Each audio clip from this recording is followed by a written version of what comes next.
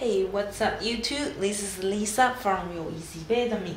Here I'm gonna do you a comparison video of the Easy 700 Wave Runner our version with others. And uh, firstly, we can see they have a different box. Let me show you in clearly. This is our box and this is others box. It, and definitely ours one is the correct one. And we can check the shoes. Yeah you can see very apparently that these pairs looks matches up. Retail is much better. Firstly we can find the toe here. Yeah the two toe here looks very different color and you can touch it. Ours smooth and good leather but here is not. And the length of the stripe here as ours length of stripe matches up retail, but the others not not yet. And uh, we can check the side.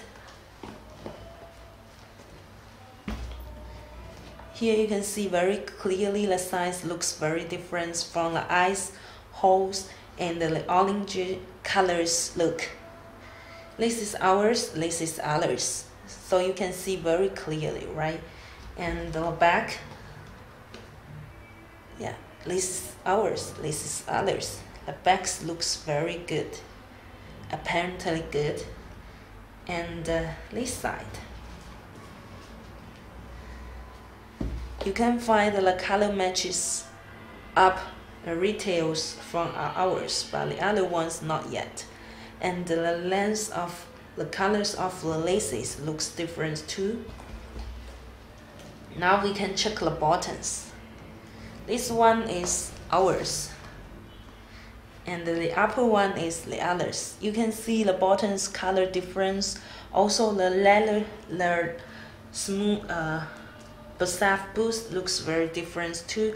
Ours use the real BASF boost. Okay, and the inside pad. Yeah, inside pad here you can see this is ours and this is others looks very different right? Okay let's just some uh, brief comparisons of these two and I'm doing some pictures showing how they look different. So you can check from my site for the detailed pictures. And if you like my video please don't forget to subscribe me.